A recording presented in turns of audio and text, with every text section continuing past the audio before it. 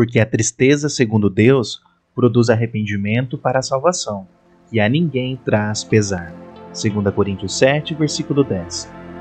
É fato que a mensagem de boas novas do Novo Testamento, Cristo morreu pelos nossos pecados segundo as Escrituras, abarca muito mais que uma oferta de perdão gratuito. Certamente é uma mensagem de perdão, e por isso Deus seja louvado. Mas é também uma mensagem de arrependimento. É uma mensagem de expiação, mas é também uma mensagem de temperança, justiça e piedade neste mundo contemporâneo. Ela nos diz que devemos aceitar um Salvador, mas também nos diz que devemos negar a impiedade e as concupiscências mundanas. A mensagem do Evangelho inclui a ideia de aperfeiçoamento, da separação do mundo, do carregar a cruz e da lealdade ao reino de Deus até a morte. Esses são todos corolários do Evangelho, e não o Evangelho em si, mas são parte da mensagem completa que estamos comissionados a propagar.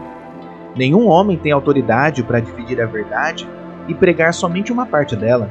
Agir dessa forma é enfraquecê-la e apresentá-la sem eficácia.